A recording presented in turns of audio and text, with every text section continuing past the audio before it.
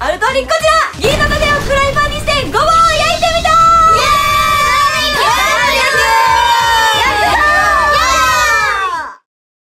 登録者10万人記念の花束が贈られます。何してんね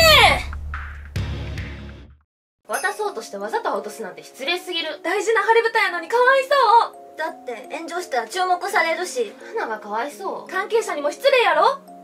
次から気をつける。まあ気取り直してごぼう切ろうや。うん。うん。じゃあ切るな楽しみ。楽しみやな。いい音。それでは準備ができたので銀の盾で焼いていきましょう。あちょっと待って。あのささっきの件で思ったんやけどさ炎上商法とかよくないと思うねんうん。確かに銀の盾も炎上しちゃうし、坂たちも炎上しちゃうくね？そっかそうやししかも確かにうん。応援してくれる人に申し訳ないか。ううん。やめとこそうやんな。やめとくか。はいということで紹介するのが遅れちゃったんですけど、私たちに